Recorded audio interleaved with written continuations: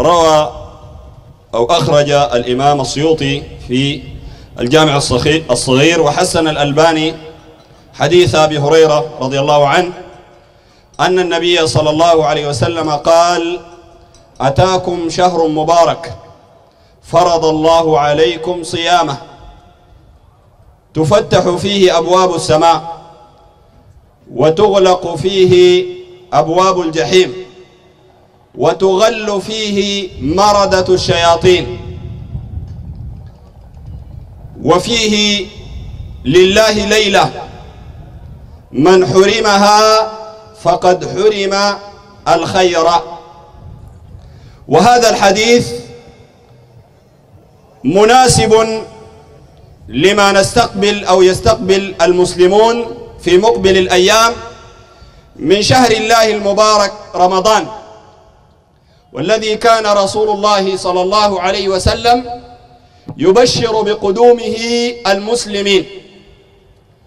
ولا شك أن رمضان صومه من أركان الإسلام العظام وأن صومه فرض بالكتاب والسنة والإجماع وأن في صومه من الفضائل العظيمة التي بينها الله سبحانه وتعالى في كتابه وبينها رسول الله صلى الله عليه وسلم. كما قال الله عز وجل يا أيها الذين آمنوا كتب عليكم الصيام أي فرض كما كتب على الذين من قبلكم. وهذا فيه تسلية للمسلمين أننا لسنا أول من صام رمضان. لعلكم تتقون وهذه فائدة الصيام. تحصيل التقوى. أيضا قال النبي صلى الله عليه وسلم إن في الجنة بابا يقال له الريان. يدخل منه الصائمون يوم القيامة. لا يدخل به أحد غيرهم. فإذا دخلوا أغلق فلم يدخل منه أحد غيرهم. وهذا أيضا من فضائل الصيام. كذلك من فضائل الصيام أن النبي صلى الله عليه وسلم قال من صام يوما في سبيل الله جعل الله بينه وبين النار خندقا كما بين السماء والأرض. الفضائل دي أخواننا مهمة عشان الناس تشجع ولأن كثيرا من الناس عندهم قدرة على الصيام وعندهم قدرة على الجكة في رمضان. وبعد ده بتلقاهم الشيشة مدورة والفتة مدورة والكركديه مدور. عندهم يقول لك دي جنبات دي جنبات بتاع جهنم. والله يا وريك من هسه فهمت؟ فدي فضائل عظيمة انت ما تفوتها. عشان كده النبي عليه الصلاة والسلام يوم أمر بوضع المنبر فطلع الدرجة الأولى من المنبر. والسنة أن يكون المنبر تاع الجمعة اللي بيطلع فيه والخطيب ثلاثة درجات. هذه هي السنة. فلما طلع النبي صلى الله عليه وسلم الأولى قال آمين ثم لما طلع الثانية قال آمين ثم لما رق الثالثة قال آمين. فلما قضى النبي صلى الله عليه وسلم سأله الصحابة وقالوا رأيناك فعلت أمرا لم تفعله قبل اليوم؟ فقال إنه أتاني جبريل آلفا وقال رغم أنف امرئ دخل عليه رمضان ثم خرج فلم يغفر له فقل آمين فقال النبي صلى الله عليه وسلم آمين. ده دعاء مستجاب. الزمان وقت الجمعة والمكان المنبر. النبي صلى الله عليه وسلم قال ما بين منبري وبيتي روضة من رياض الجنة وليس الحديث ما بين منبري وقبري. لأن النبي صلى الله عليه وسلم اليوم ديك ما توفى والنبي صلى الله عليه وسلم بيتكلم يكون قال قبري كيف؟ المهم وقال ومنبري على ترعة من ترع الجنة. ليه؟ لأنه في أسباب كبيرة وكثيرة. النبي صلى الله عليه وسلم قال قال إن لله عتقاء في كل يوم وليلة يعني في رمضان. وإن لكل مسلم دعوة دعوة مستجابة في كل يوم وليلة. شوف الفضائل دي عظيم هذه الفضائل عظيمة. عشان كده في حديث أبو هريرة النبي صلى الله عليه وسلم قال الجمعة إلى الجمعة الصلوات الخمس والجمعة إلى الجمعة ورمضان إلى رمضان مكفرات لما بينهن إذا اجتنبت الكبائر. زول صلى العصر ومنتظر المغرب قام صلى المغرب. لو عمل معصية بين العصر والمغرب الصلوات بتكفر له. وظل صلى جمعة إلى جمعة تكفر له ما بين الجمعتين. وصام رمضان إيمانا واحتسابا. إلى رمضان الآخر إيمانا واحتسابا غفر له ما بين الرمضانين بشرط قال إذا اجتنبت الكبائر. أي إذا كان الإنسان في جانب والكبائر في جانب. لأن الكبائر تحتاج إلى توبة خاصة. زول بيشرب الخمر يتركه ويندم عليها ويعزم إنه ما يرجع ويتوب توبة خاصة من هذه الكبيرة من شربه الخمر. ومن الزنا إلى آخر. وأكبر الكبائر الإشراك بالله كما في حديث أبي هريرة رضي الله عنه أن النبي صلى الله عليه وسلم قال ألا أنبئكم بأكبر الكبائر؟ قلنا بلى يا رسول الله. قال الإشراك بالله. تلقاه الشمس مسخنة. وقاعد جنب المكيف. فهمت؟ ولابس حجاب. ويقول لك الليلة اليوم مسخن. أمرك أمرك خلي المسلمين يصوموا. أمرك أمرك مركب لك حجاب. ويمكن يكون كاتب لك البيجاي ده. ما عندك أي صيام. صيام ما عندك. لأن النبي عليه الصلاة والسلام قال إن الرقى والتمائم والتولة شنو؟ شرك. فالإنسان إذا علق تميمة فقد وقع في الشرك بالله. ده غير الحجبات بتاعت الجماعة ديل. شرك بقرون يقول لك اكتب لك ألف لام ميم نو. عما نو. فلو وو. فهمت؟ اكتب لك ده كتاب بتاع برهانية بتاع أذكار. وتلقى الكتاب بتاع السمانية شوفوا عمك البيجاي ده فهمت؟ كتاب اسمه أزاهير الرياض. تأليف عبد المحمود نور الدايم. قال ويكتب لمن به حمى هذه الأسماء. شقش اثنين. عشان الحمى تروح وتعلق وانت هنا. عشان الحمى. حمى تروح بشقش اثنين وشقموش اثنين. ده جوا الحجاب. انت شايل معاك شقش وما عارف. ومش مش شقش واحد. شقش اثنين. وشايل اثنين شقموش. وشايل راعي المنخ اثنين. وشايل العجل اثنين. شايل لك عجل جوا.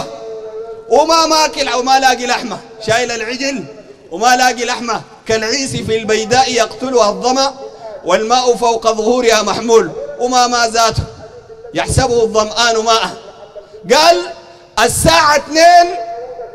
قال فتروح الحمى. يا ناس في حمى بتروح بعواليك زي دي؟ شركيات. زول تلقاه جاي رمضان يقول لك نحن الجمعة الأولى ماشيين الشكينيبة دايرين نشيل الطين بتاعت الحفير. من هنا يركب؟ أول جمعة لابد يلقاه هناك مع أبو الفكيه يأكل في الطينة تحت الحفيرة. الله يكرمك بهايم بايلة فوقه.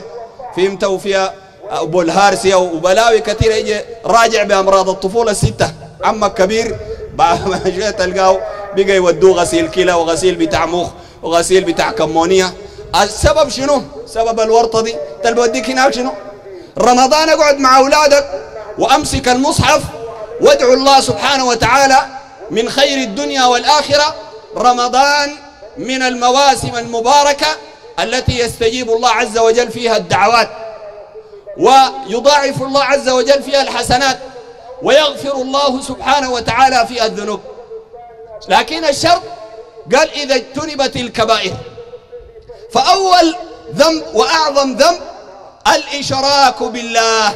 شوف سبحان الله انت تفتش العبادات دي كلها بعد شوية رمضان انتهي بيجي على الناس الحج. برضو الحج النبي عليه الصلاة والسلام رسل أبو هريرة وعلى إثر علي بن أبي طالب قال ألا يطوفن بعد العام مشرك ألا يحجن بعد العام مشرك وأن لا يطوفن بالبيت عريان. شوف المشرك والعريان أصحاب. النبي صلى الله عليه وسلم رسل أبو هريرة في صحيح مسلم إنه تاني واحد مشرك ما يحج. يا إخواننا ده ما كلامنا نحن. في ناس بيفتكروا إنه نحن بنقعد بجاي ننجر الأحاديث ونجي خاشين الحلقة ده أفتح صحيح مسلم. أفتح الصحيح بتاع مسلم. النبي صلى الله عليه وسلم قال أه أن لا يحج بالبيت شنو؟ مشرك ولا يطوفن بالبيت عريان. ولذلك دائما العبادات كلها مربوطة بالتوحيد. عشان كده ربنا سبحانه وتعالى قال مثل الذين كفروا بربهم أعمالهم كرماد اشتدت به الريح. في يوم عاصف لا يقدرون على شيء مما كسبوا ذلك هو الضلال البعيد.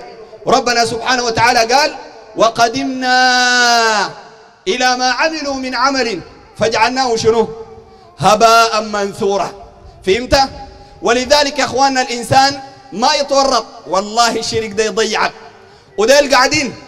قبل شوية واحد من إخواننا الأفاضل سمعني مقطع للشعراوي. طبعا الشغله غلبت. كان في نسوان بعد شوية جابوا شفع.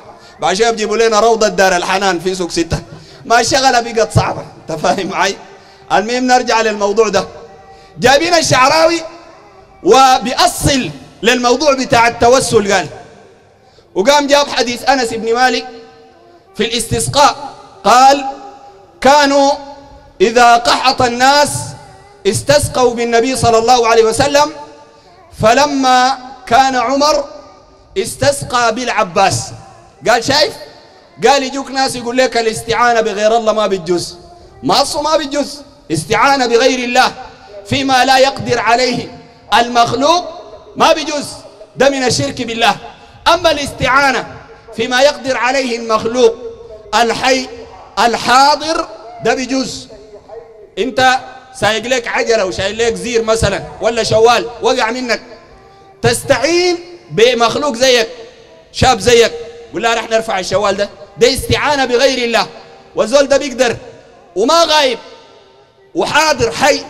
بيقدر على الموضوع ده. لكن مثلا لقيت لك زول ضعيف أو عيان يقول له ارفع معي الشوال ده محرم لأنه فيه استهزاء به. كمان لو بقى ميت ده شرك بالله. تقول له أبوك الشيخ راح أرفع معي الشوال؟ والشيخ أنا بدخله لك في الشوال ذاته كده بس اديني اذن بدخله لك جوا الشوال الفقيه. فهمت؟ فده قال يجوز الاستعانة بغير الله. قال مش قال مش التوسل بالنبي صلى الله عليه وسلم. قال التوسل بأقارب الميت ذاته قال بيجوز ها؟ الشيخ الألباني رحمه الله إمام أهل أهل الحديث في العصر الحديث في كتابه المبارك العظيم كتاب التوسل وأحكامه قال نحن والمخالفون نختلف في تقدير التوسل بالنبي صلى الله عليه وسلم وبالعباس في هذا الحديث هل هو التوسل بالدعاء دعاء النبي صلى الله عليه وسلم ودعاء العباس أم هو توسل بذواتهم وجاههم؟ قال نشوف. العباس عمل شنو؟ ابن حجر رحمه الله الحديث ده في البخاري وكتاب البخاري ده شرحه ابن حجر. ابن حجر قام جاب رواية ثانية لإمام آخر اسمه الزبير بن بكار. قال لما ال ال ال عمر رضي الله عنه قال اللهم إنا كنا نتوسل إليك بنبينا أو بنبيك فتسقينا وإنا نتوسل إليك بعم نبينا فاسقنا. قال فقال قال فقام العباس فقال اللهم ما نزل بلاء إلا بذنب وما رفع إلا بتوبة اللهم هذه نواصينا إليك بالتوبة فاسقنا. هنا ده شنو؟ ده دعاء لله سبحانه وتعالى. فبيجوا دعاة الشرك بأصلوا لك والنبي صلى الله عليه وسلم قال عن شهر رمضان قال وتغل فيه مردة الشياطين. وطبعا ديل شياطين الجن. أما للأسف الشديد في شياطين إنس قاعدين. شياطين خليك من بتاعنا الغنى. جيبوا لك عمك أبو صالح خشمه حفيان داك ناس هايل. وهاها يقول يا عمك الله يهديك. ده شهر رمضان. النبي صلى الله عليه وسلم قال من صام رمضان إيمانا واحتسابا غفر له ما تقدم من ذنبه.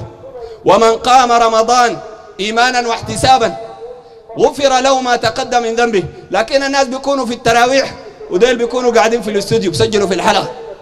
فهمت؟ ومن قام ليلة القدر إيمانا واحتسابا غفر له ما تقدم من ذنبه. الآن القنوات والإذاعات وغيرها إلا ما رحم ربي تلقاهم يقول لك بنحضر في شهر رمضان. نكات فهمت؟ ومسلسلات وبلاوي ومشاكل وفتن يزرعوها بين المسلمين. أه تلقى المسلسلات السيئة والخبيثة. يقول لك مسلسل اسمه العشق الحرام أو العشق الممنوع. ويأصلوا للناس فوقه ها؟ يأصلوا فوقه. والقنوات بتاعت ام بي سي وما عارف شنو وغيرها. يقول لك البيت دي لأنه كان أمها محتاجة لعملية. عشان كده مشى مشت حبت لها واحد غني وزنت بيه عشان الشغلة تمشي. دي القنوات ده جوا رمضان. كلام ده جوا رمضان كله. فهمت؟ ده غير يجيبوا لك الهبل بتاعنا ديل. متاعب وما عارف شنو.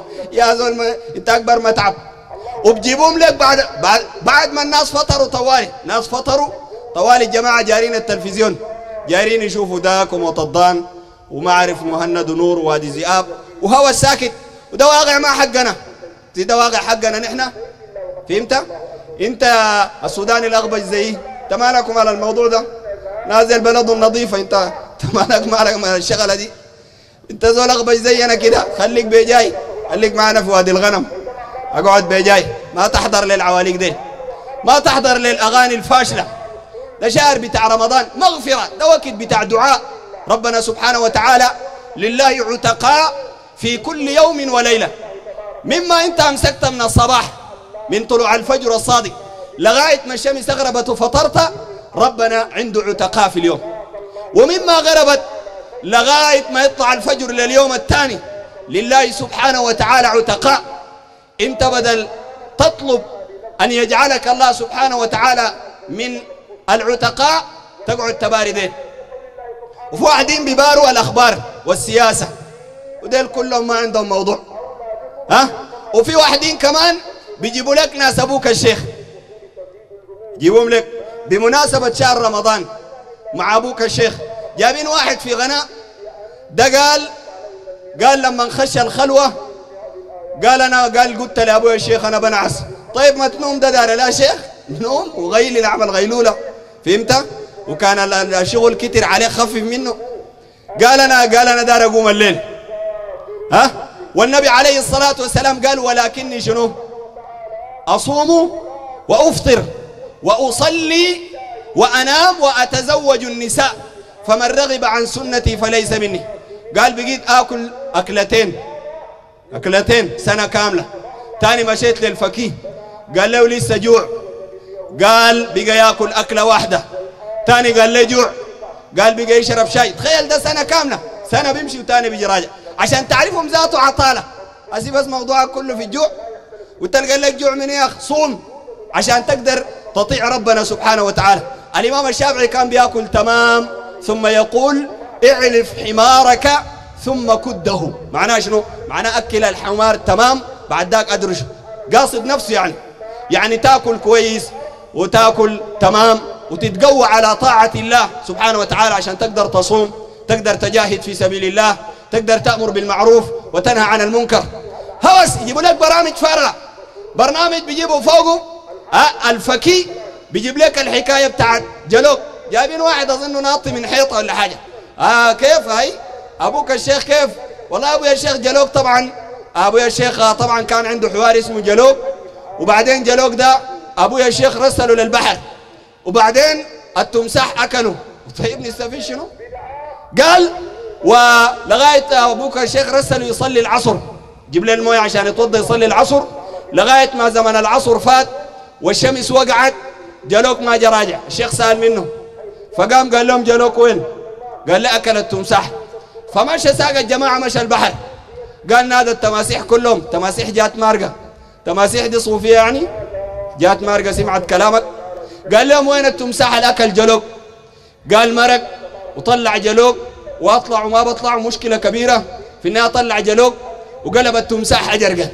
وهو نستفيد شنو أنت؟ أقلب لنا الحجر ده بنزين. شيل من النيل ده أقلبه لنا بنزين. فهمت؟ أقلب الحجر خرفان. زي ما زمان بيحكوها الجماعة. عمك ادروب بعدين عنده خروف واحد خروفه ما محترم في الحلة. ست مريم جات ماشية الحلة الجماعة جاء دروب قال لها اسمع نضح لي ست مريم دي وكده ولا بد نكرمها. قال لهم والله أنا عندي خروف واحد ما بدي لها. يا دروب كيف؟ قال لهم ما بديها قال لهم بنكلمها لك قال لهم كلموها. كلموها قالت لهم قولوا له والله ما تضحوا أنا أقلب لك حجر. الجماعة جو له ها؟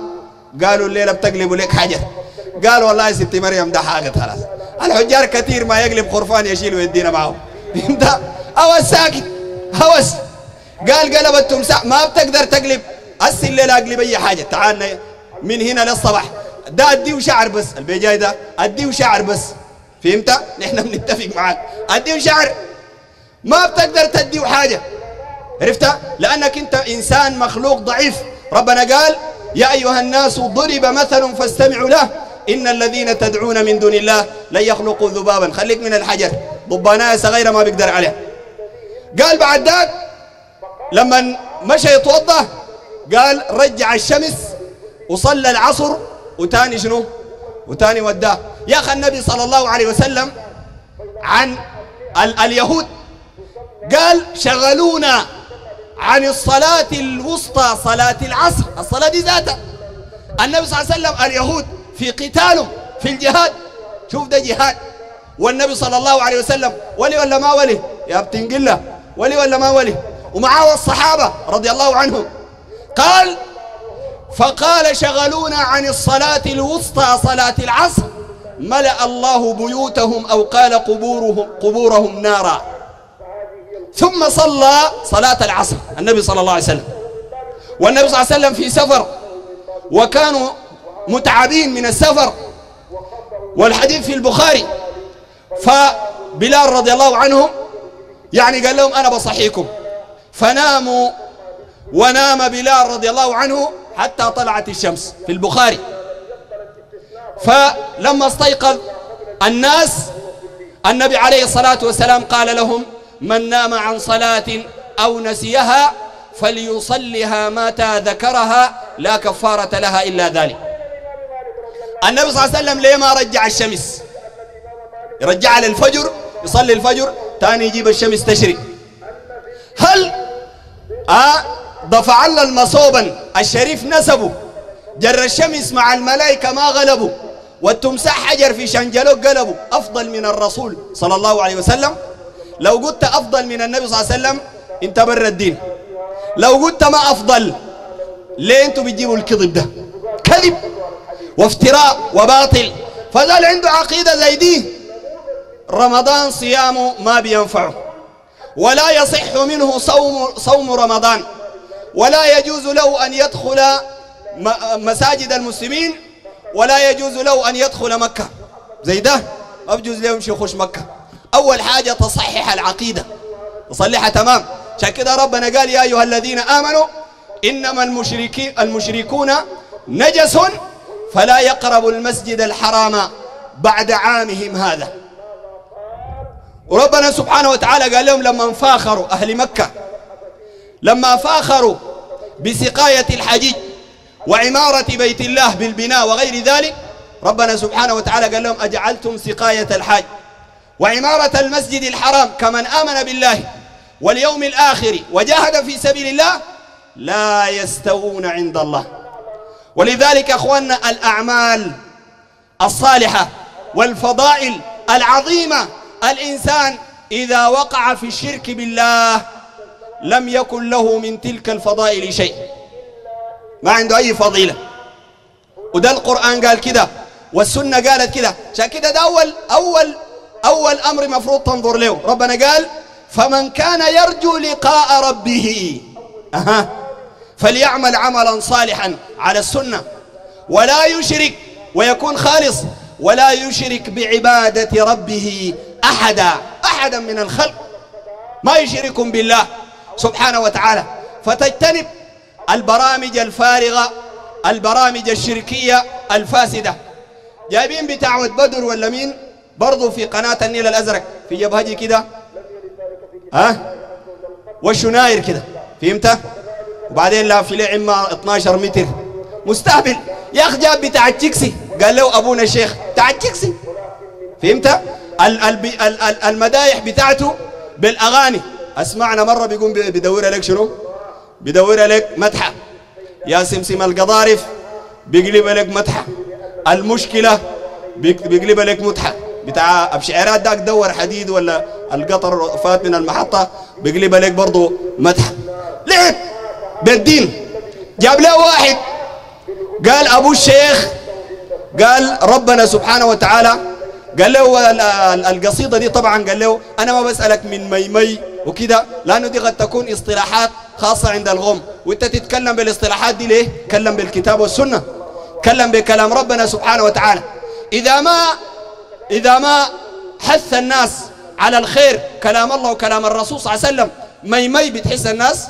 بتحسها أؤك أكيكا في كيكي أؤس أسيسا في سيسي أأم أميما في ميمي أميم أم منوه ذاته وتأم ليه ذاته؟ أمي ودي وين؟ هو الساكت كلام فارغ كلام فاشل. قال له دي ما بزلك ما هو مجرم زيه. لكن قال له في كرامات هنا ورينا له قال أول كرامة إنه أبونا الشيخ الكباشي ربنا اداه كن فيكون على لسان. يعني زي ما أنت بتبزق زي ما أنت بتقول جيب موية. سهلة مش؟ بس هو كن فيكون على لسان. فهمت؟ المذيع طبعا هو مجرم لكن حريف طبعا. قام قال له اسمع طبعا أنت أبونا الشيخ بتسأل الله والله بيده كن فيكون فربنا بيده العبد وبالتالي ربنا هو بيده كن فيكون. ذاك طبعا راسه بليد. قام قال له لا أبونا الشيخ ذاته بيقول للشيء كن فيكون فهمت؟ بهدل له البرنامج كله اتكشف وربنا فضحه. فهمت؟ وربنا سبحانه وتعالى قال قل من بيده. ربنا قال للنبي صلى الله عليه وسلم اسأل كفار قريش من باب إقامة الحجة عليهم. قل من بيده. ملكوت كل شيء. منه وهو يجير ولا يجار عليه إن كنتم تعلمون. ده تحدي في سورة المؤمنون. ربنا قال فسيقولون. المشركين ذاتهم ناس أبو لهب وأبو جهل وعقبة بن أبي معيط. فسيقولون لله. يا أخوانا إذا كان المشرك بيقول لك الكون عند الله سبحانه وتعالى والتصرف في الكون عند الله جل وعلا. كيف ذول؟ يدعي الإسلام يقول لك غير ربنا سبحانه وتعالى بيقول لشيء كن فيكون وراجي إنه يصوم رمضان. راجي إنه يصوم رمضان. ولذلك دي ضيعوا يا إخواننا أعمال ناس كثيرة ورطوهم. كثير من أهلنا السودانيين ناس طيبين والله ودايرين الخير وناس بيسارعوا في الخير تلقى في رمضان ما شاء الله. والله تسافر أي محل الناس يقطع عليك الشوارع. يقطع عليك الشارع يقول لك والله الرجال بيجاي والحريم محلين هناك بعد تاكل فود وبقيوا في الزلط ممكن تطقوا بالعربية لأنه بيعتبر إنه فطر صايم وكذا ناس تمام لكن للأسف الشيء تلقاه بحجاب. والله بنتحسر عليهم. ناس فيهم خير. وهؤلاء استغلوا طيبة الناس واستغلوا حب الناس للدين. ولذلك يا أخواننا الواجب على الناس الواجب على الناس أن يبينوا هذه الأمور وأن يبينوا للخلق وللعباد أن هذه الفضائل العظيمة لا ينالها من وقع في الشرك بالله. توريهم توري أولادك في البيت الجيران قاعدين في الجبنة في مناسبة تقول لهم يا أخواننا والله ما شاء الله رمضان ده قالوا فيه فضائل دعوتك مستجابة والنبي صلى الله عليه وسلم قال ثلاث دعوات المستجابات لا شك فيهن ومنها دعوة الصائم ومن قام ليلة القدر إيمانا واحتسابا. والله فضائل عظيمة وما شاء الله. الزول بيشيل بيشيل هم الأكل والشراب لكن لما يجي رمضان لما ينساين. وكده وما شاء الله الزول بتبقى صحته وكده. لكن للأسف الشديد يا إخوان بعد ده كله بعد ده كله لو أنت أشركت بالله ما عندك أي حاجة. بل أن تخلد تحبط الأعمال وتخلد في نار جهنم. فلا بد يا اخواننا المعلومات دي تصل للناس وتصل للمسلمين. عشان ما يجوعوا والله أخواننا السودانيين ديل إحنا لو منهم. من باب من باب الوقايه خير من العلاج. أنا ما بشرك بالله. من باب الوقايه ساكت. ما بشرك بالله سبحانه وتعالى. لأنه ما ممكن أكون في الدنيا مدفوس وتعبان وبنط في الحافلة بالشباك وبمرق منها بالقزازه الورا وتاني يوم القيامة أكون مشرك حاطة. أعمالك حاطة وشمس طاقة في راسك. زي ما قال الشاعر ما أجمل الدين والدنيا إذا اجتمعا وأقبح الكفر والإفلاس بالرجل.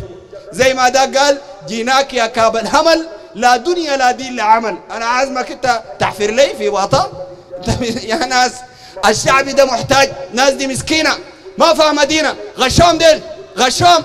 عشان يقول لهم زي رمضان الفات الناس اللي بيحضروا الحلقة يقول لهم جيبوا لي حق الأورنجة وسووا لي. فالناس يا أخواننا تتقي الله سبحانه وتعالى وتبين حق الله عز وجل وتخاف من الله سبحانه وتعالى. فإن الله عز وجل يتقبل منهم ويضاعف لهم. قدم الشيخ مزمل.